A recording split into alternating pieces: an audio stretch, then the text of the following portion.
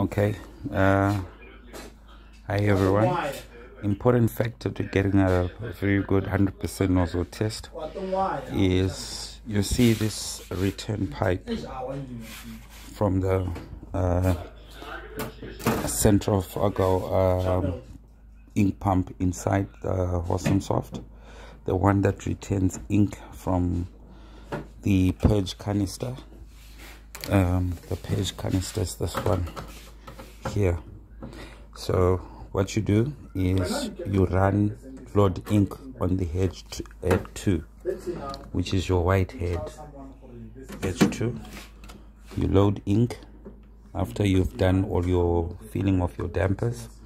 Once you are loading ink right to prevent from emptying out your dampers you need um, you need to make sure that this pipe is not plugged in. Then you plug a very big syringe and then you pull white ink right?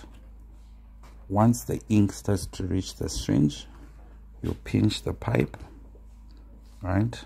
Pinch the pipe and then you connect it to the tank to allow complete circulation of white and so that the purge canister doesn't run empty as well. And then you don't have a feeding issue on your dampers over here. So from there your pump is circulating the inks. Right? And then right um, that is the centrifugal pump over there the back. And it's controlled by the circulation. So it goes up to 100 so I prefer putting on 30 30 works best for me. And then you can have a very perfect 100% nozzle test on white